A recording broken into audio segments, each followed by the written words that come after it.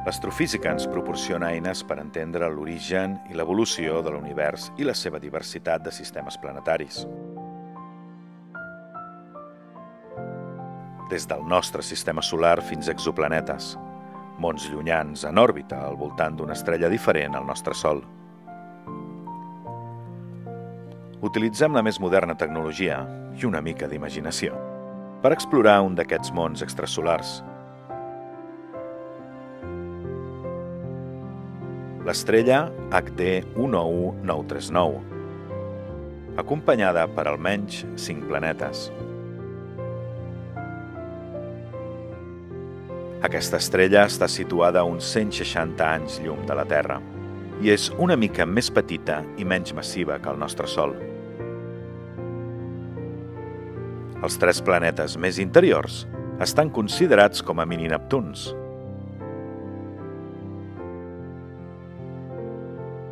és a dir, planetes més grans que la Terra, però lleugerament més petits que Neptú, mentre que els altres dos són d'una mida aproximada a Saturn i a Júpiter.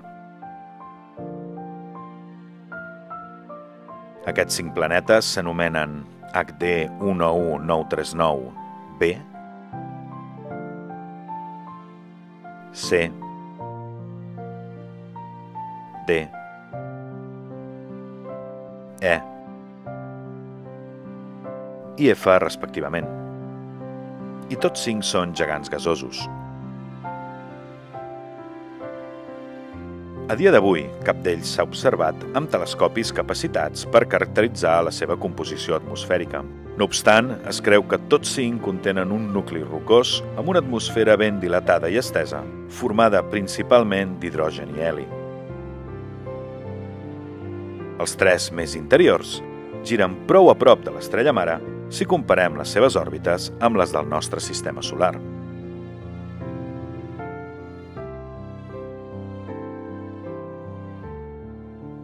El misteriós sistema HD 11939, amb tota la seva harmonia i bellesa, ens fa reflexionar sobre la seva formació i evolució planetària, generant nombroses incògnites pel que fa a la seva existència en relació a la del nostre sistema solar. Per exemple, tant el Sol com HD 11939 són estrelles amb una mida, composició i temperatura molt similars. Tot i així, els dos sistemes planetaris són totalment diferents. La formació planetària a partir de pols, gasos i matèria provinent de la gènesi de l'estrella – fa pensar que cossos estel·lars similars haurien de tenir planetes semblants. No obstant, veiem que no és així. Quin mecanisme fa que dues estrelles tan similars en composició acabin contenint planetes tan diferents? I en aquest sentit, podem comparar els dos sistemes i entendre per què no han evolucionat de manera paral·lela. Des de la dècada dels anys 90 fins ara, s'han detectat més de 4.000 exoplanetes. A través d'aquests descobriments, s'ha observat que hi ha dues poblacions planetàries predominants. D'una banda, superterres, planetes rocosos més grans que la Terra, amb atmosferes fines i evolucionades.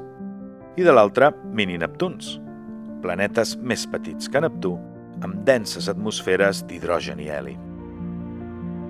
Si considerem el Sol i HD 11939 com estels equiparables, com és que al sistema solar no tenim mini-Neptuns, mentre que a HD 1939 en tenim 3?